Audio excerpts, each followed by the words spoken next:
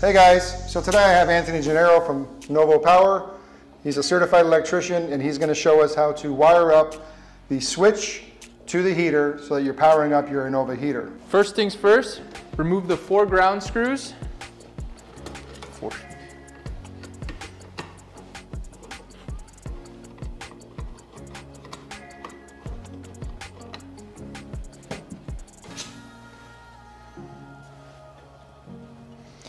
Next, you're going to attach the wire to the cover.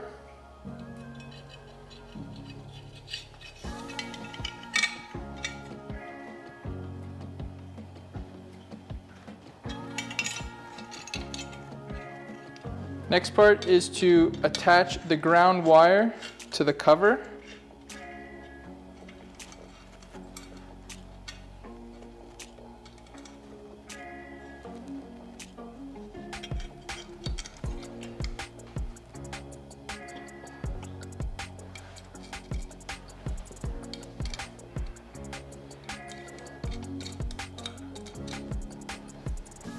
I like to use the adjust use the adjustable wrench just to give it a nice oomph.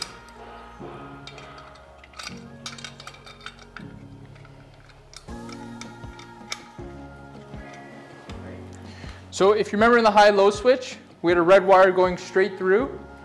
We are going to use the wire nuts and connect both red wires going to the leads of the quartz heater together.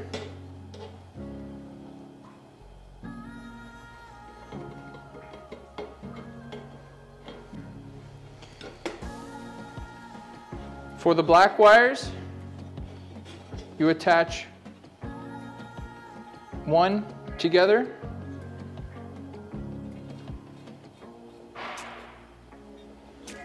and the other one together.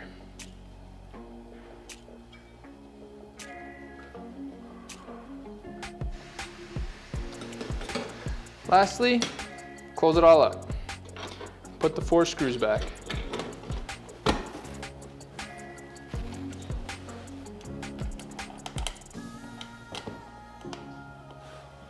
Okay, so that is how you complete a wiring of the heater from the switch. Thank you, Anthony, for all your help on this and to show these people how to do it. But I do stress that you should hire yourself a certified professional electrician to install all of your Innova heaters and switches.